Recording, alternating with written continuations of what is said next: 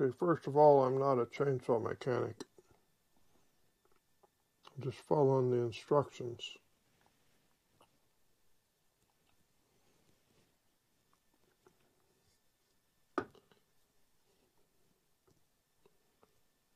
This isn't in them. I'm going to drop a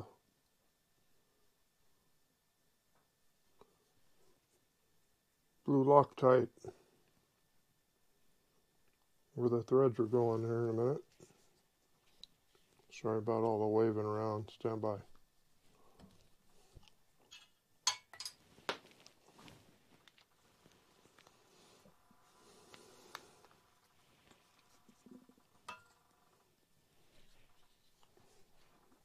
Okay, let's try this here. Here's the old one. and it's got a spring in there because when you get your part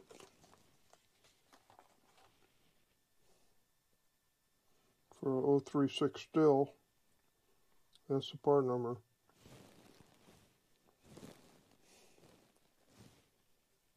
cut half of it off. Or this thing. okay. The spring keeps the hose from collapsing. Pretty smart. The brass gizmo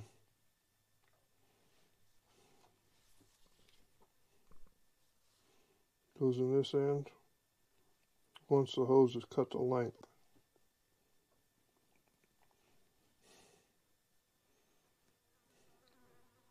There's the pliers. Another shot of the pliers. Another shot of the pliers. If you go online and look at it, speaking of pliers, You want to do that to them.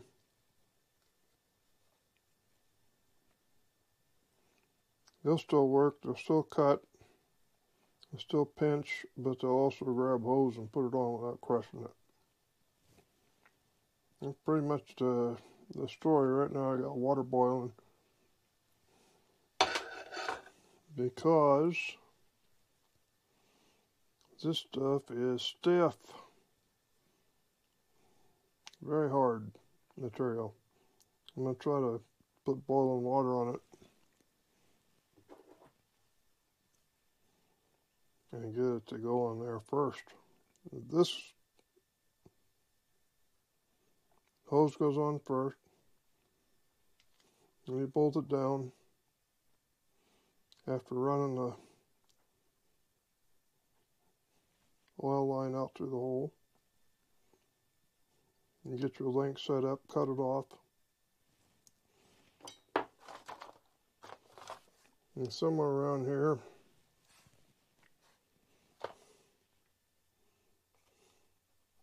is that thing.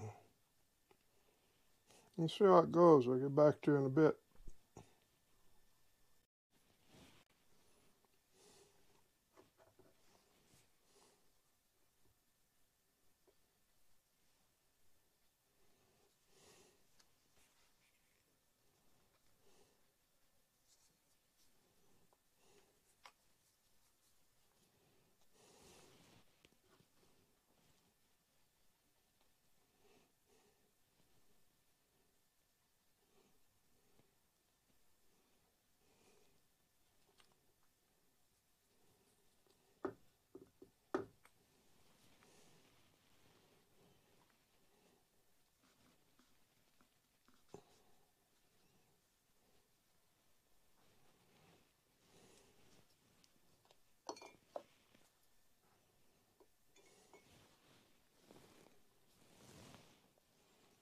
Well, I made a start,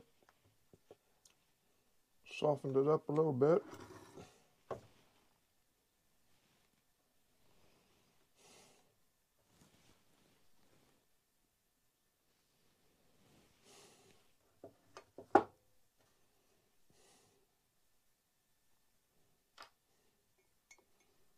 I understand the point of having a stiff tubing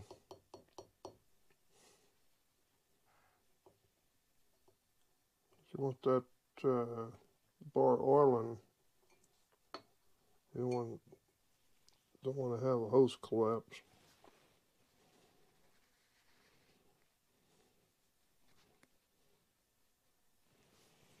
Hmm. He's a tough little rascal.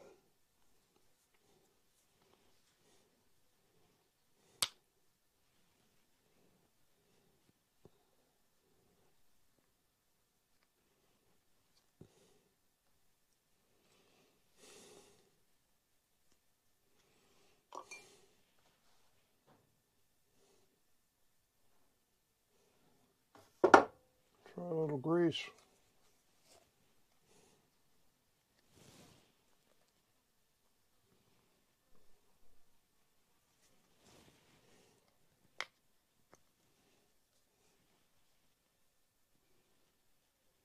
If I had WD-40 here, I'd try that, but I don't have any, so I'm going to use some all-time favorite hair clipper oil.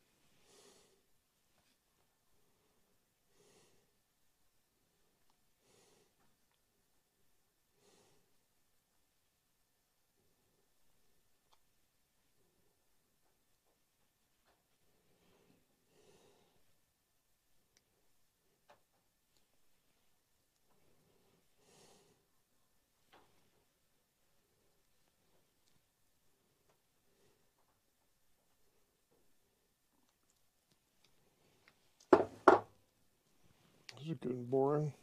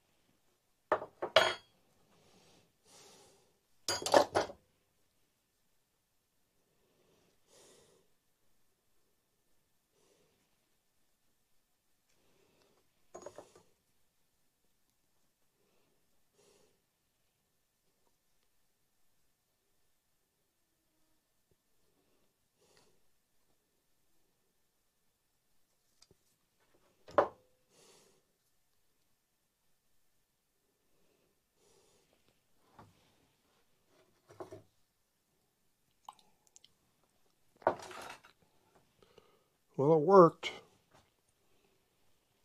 I put the base against a wood bench, gripped it with the pliers, and then uh,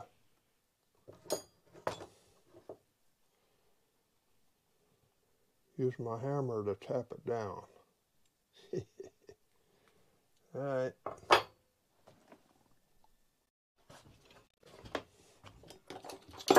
This doesn't want to slide right in there.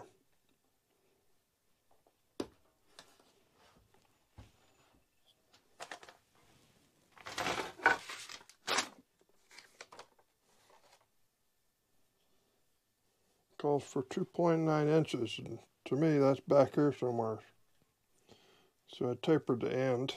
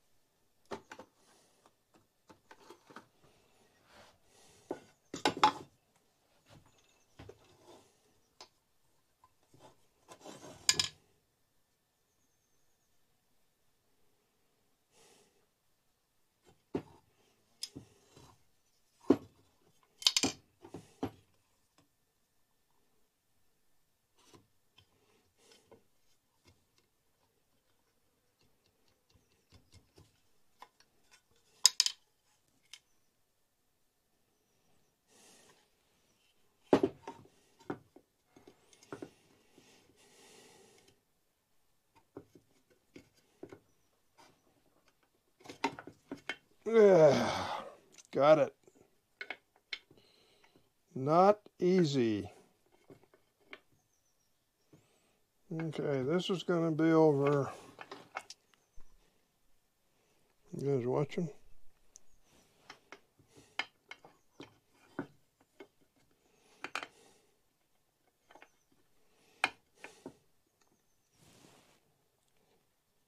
See where my finger is?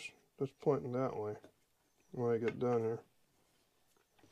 So we'll just uh, ease this along out of here a little bit.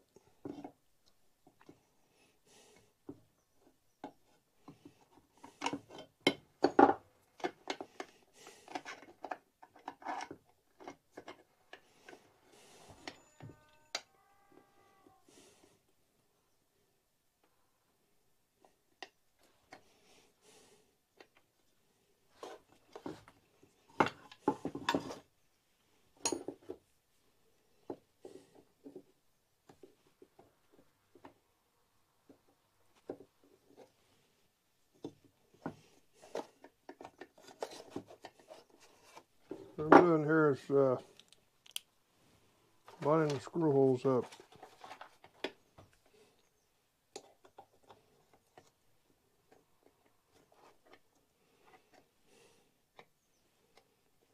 Yeah, a bit.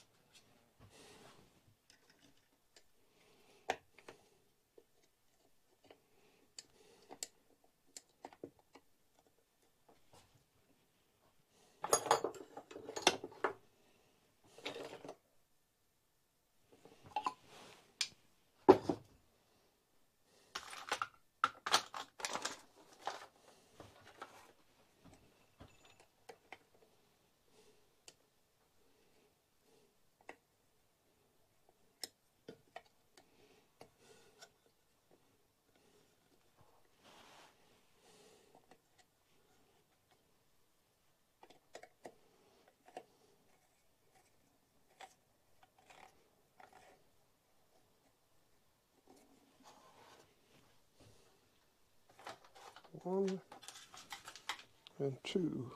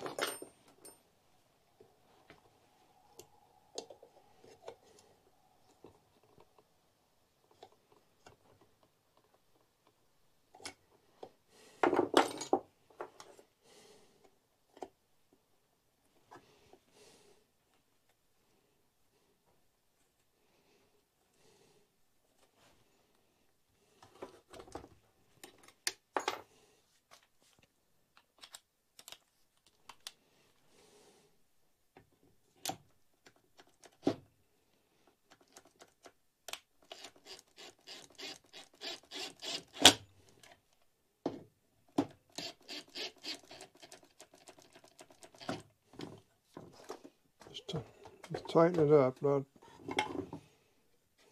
slamming it shut. Looks like this could go back that way. Take the tension off.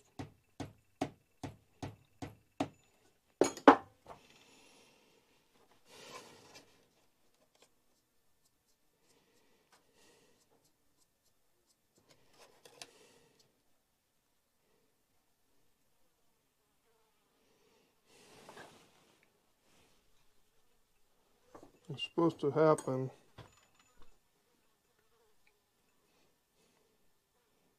And cut it off.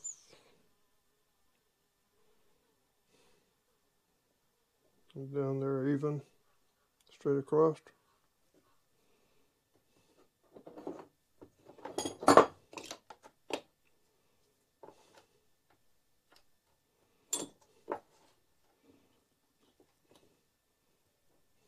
slide the spring in to keep it from collapsing push it in with a rod or a drill bit or something that fits inside diameter. And close it all off with that. Okay, I thought about this for a bit. What I'm going to do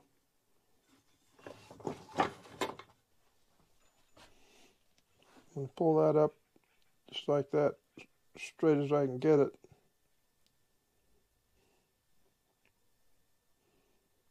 and cut it off with a razor knife.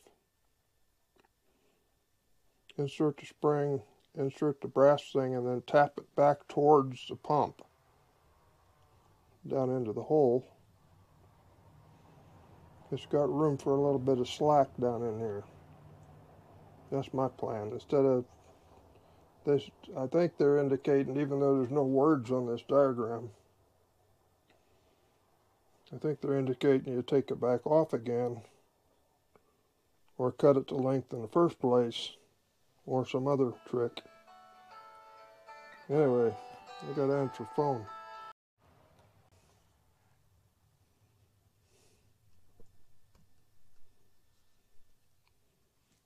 Okay, I've decided to do that.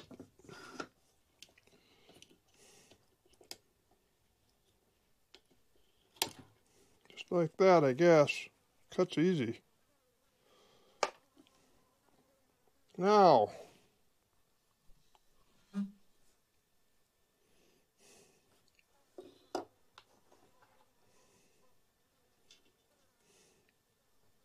there's a hole. There's a spring. The way the directions read, they don't say anything. There's no words at all on it, except Stihl.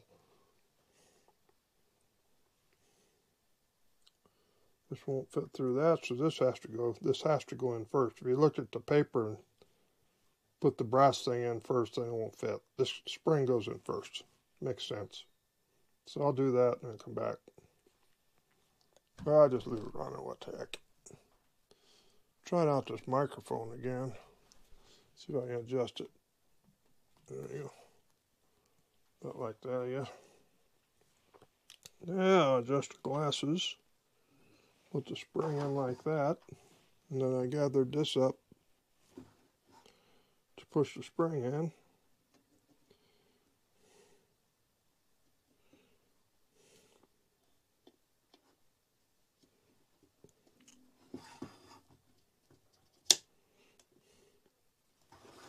Let's try the next size bigger. I don't think it'll go. No it won't go.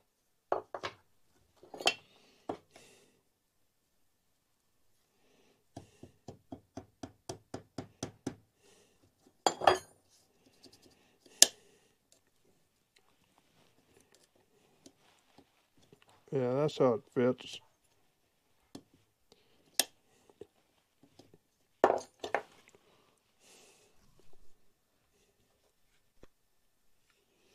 Sorry about the wobbling around.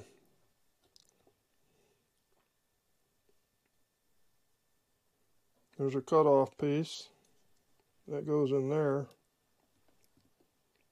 The claim. Hmm. It's not going to push in there easy, but it'll push. I can't be holding the camera doing it. I'll see you after a while.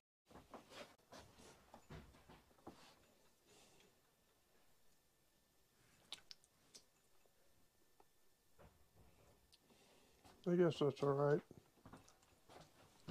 I'm going to use this.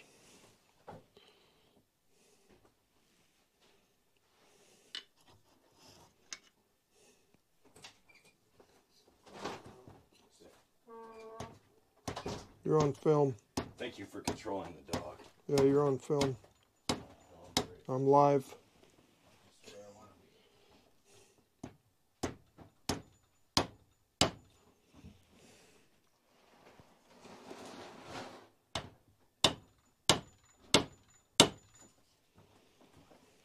Well, it's going.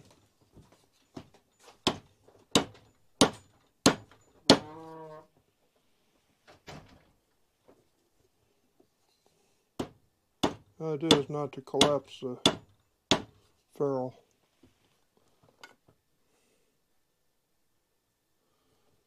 Still got a sixteenth or so to go.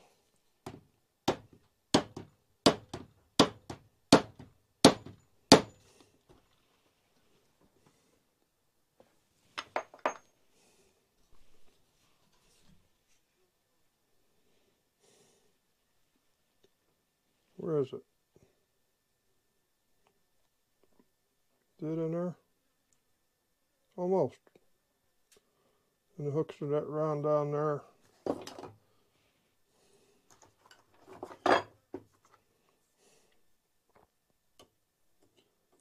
Starts here. That ferrule's going to expand the hose to tighten up up there so it doesn't leak. And then the hose comes around down here. Goes onto the nipple. I didn't measure it, I just cut it to fit.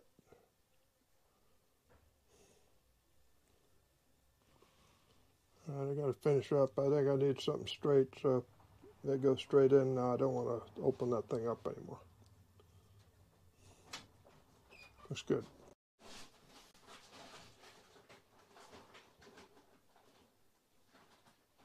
Where is it? Oh, there it is over here. See it in there? Happy days. I'll show you that paper one more time.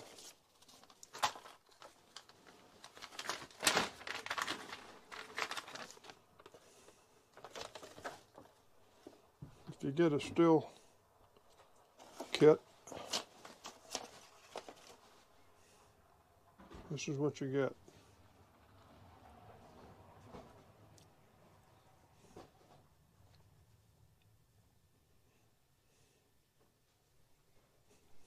The end. Let's talk about the pliers for a second.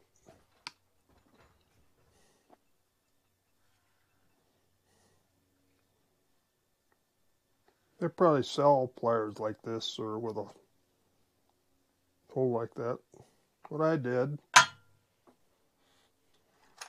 so I started it with this from both sides and just went into the first hole. It doesn't like to do it very much because those are hardened. And then I finished it out with a chainsaw file. rounded the ends over so it supposedly wouldn't scratch. I'm gonna have to sand it. I see some marks in that tubing. But uh, if you don't have one, you make one. By the way, there is a Stihl YouTube video, I think, that talks about doing that. Or maybe it was on, that's what it was, it was on somebody else's video, and he said he wasn't going to ruin his pliers. Well, I went ahead and ruined mine. And they work great. And they still work as originally intended. Now, uh, I'll go in and process that video and put it up. Adios.